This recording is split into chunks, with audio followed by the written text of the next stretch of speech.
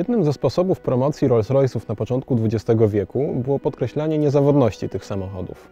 Udowadniano ją przy pomocy przeróżnych wyczynów. Na przykład jeden z założycieli firmy, Charles Rolls, udał się modelem Light 20 w 1905 roku w podróż z Londynu do Monte Carlo. Zajęło mu to półtorej doby. Wówczas takie osiągnięcia robiły ogromne wrażenie na klientach. Parę lat później zdecydowano się pobić rekord jazdy non-stop. Do pobicia było 7000 mil. Do próby posłużył model Silver Ghost, a rekord bito na trasie Londyn-Glasgow. Oczywiście samochód pokonał ten dystans bez usterki. E, potem przejechał 10 tysięcy mil. Po przejechaniu ponad 14 tysięcy mil i 30 dniach jazdy nastąpiło jednak zmęczenie czynnika ludzkiego, wcale nie materiału. Te samochody po prostu są niezawodne.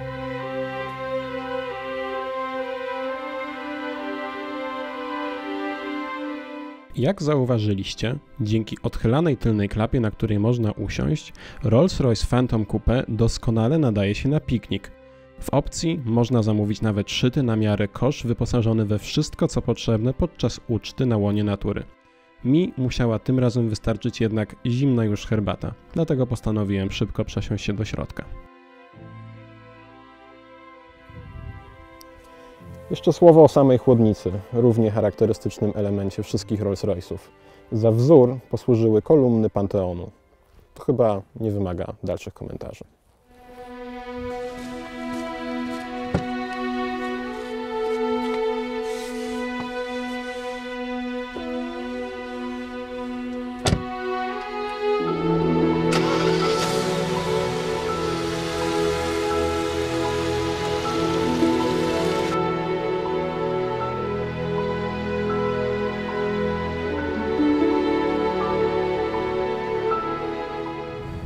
Pomimo tego, że Rolls-Royce sprzedał w 2014 roku ponad 4600 samochodów na świecie i jest to już piąty rok z rzędu, kiedy notuje rekord sprzedaży, Phantom Coupe jest jednym z najrzadziej spotykanych na ulicach samochodów Rolls-Royce'a.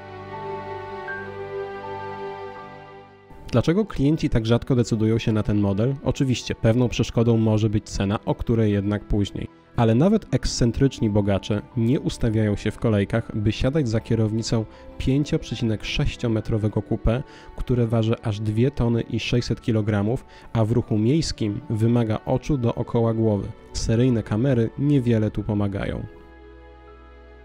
Phantom debiutował w 2003 roku, w 2008 pojawiła się wersja coupé i niedawno auto przeszło modernizację.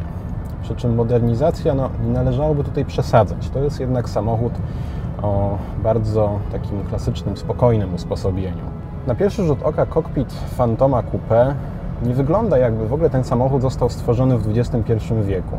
Spojrzycie na deskę rozdzielczą, e, jest dużo drewna, są przełączniki, które Rolls-Royce stosuje już od e, bardzo dawna i właściwie te elementy, które zostały tutaj wmontowane, żeby ten samochód jak był nowoczesny, są ukryte.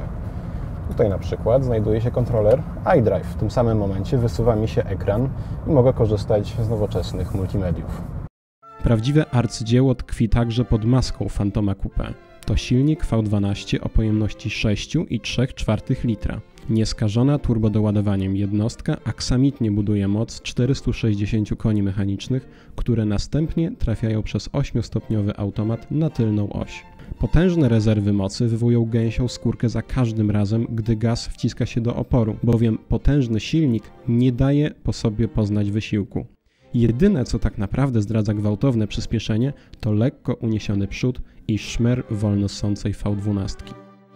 Przy mocy 460 koni i masie 2,6 tony można by myśleć, że jest to ociężałe auto. No cóż, rzeczywiście, jeśli chodzi o samo prowadzenie, to ten Rolls-Royce kierowca nie tyle go prowadzi, właściwie tym samochodem się płynie. Zawieszenie jest niezwykle komfortowo zestrojone, dość taki leniwy jest też układ kierowniczy, ale nie znaczy to, że gdy dotrzecie nim na krętą trasę, będzie tragedia. No przeciwnie, ten samochód całkiem dobrze sobie radzi na takich zakrętach. No, w końcu zawieszenie tego samochodu opracowywali m.in. inżynierowie BMW.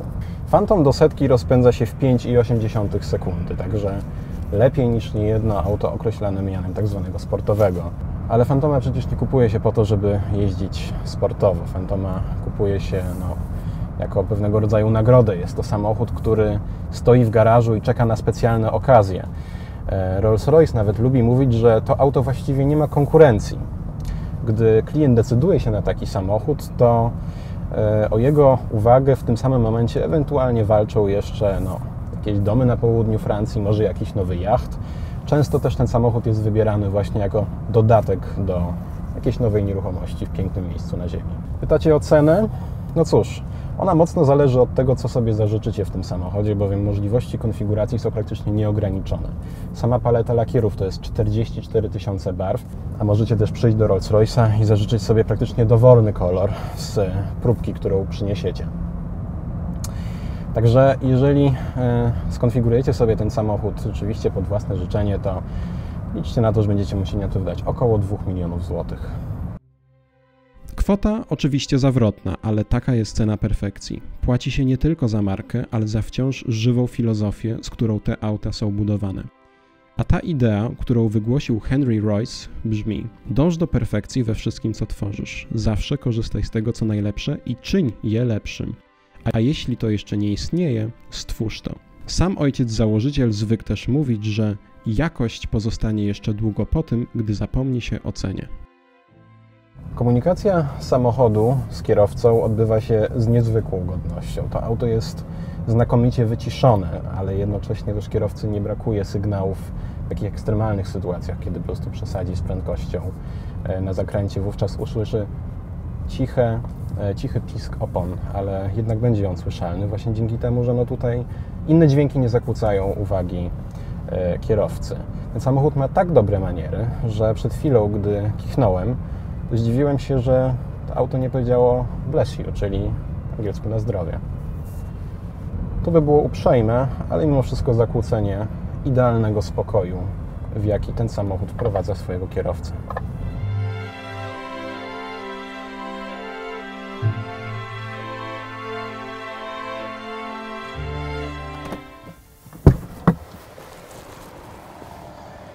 Na koniec zrobię jeszcze jedną rzecz, którą rzadko robią testujący ten samochód, a chyba jeszcze rzadziej właściciele. Przesiądę się na tylną kanapę. Nie dość, że jest tu bardzo wygodnie i kanapa jest chyba nawet większa niż przednie fotele, to przede wszystkim stąd ma się najlepszy widok na podsufitkę, w której ukryto 1600 końcówek światłowodów. Tworzą one osobiste, rozgwieżdżone niebo, które zawsze towarzyszy podróżującym. Powiecie mi, że w Oplu też można coś takiego zamówić? Proszę Was, w Rolls-Royce możecie sobie zażyczyć własną indywidualną konstelację tych światłowodów. Wrażenia, jakich dostarcza jazda Phantomem Coupe, można podsumować jednym określeniem: waftability. To nieposiadające polskiego odpowiednika wymyślone przez Rolls-Royce'a słowo oznaczające bezwysiłkowy sposób poruszania się, perfekcyjny spokój i nieskończone pokłady mocy.